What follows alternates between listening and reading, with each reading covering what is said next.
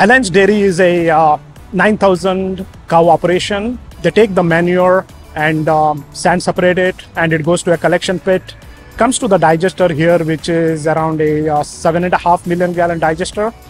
The manure is anaerobically digested, and uh, we take the biogas and uh, scrub the H2S and the VOCs and the CO2 off of the system, which is behind me here, and um, produce pipeline quality RNG.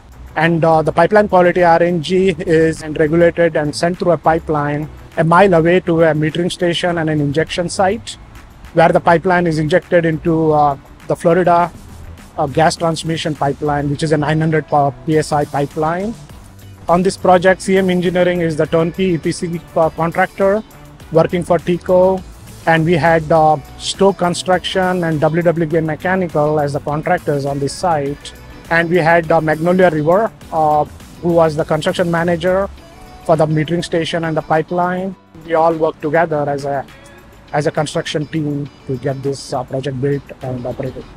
So this project is also unique in the sense that uh, the equipment supplier Granite Fuel and CEM Engineering a lot based in uh, Canada and uh, we brought in all the Canadian expertise on the biogas and RNG side to southern US. So this is one of the largest dairy farms in central Florida. So we are really proud of it.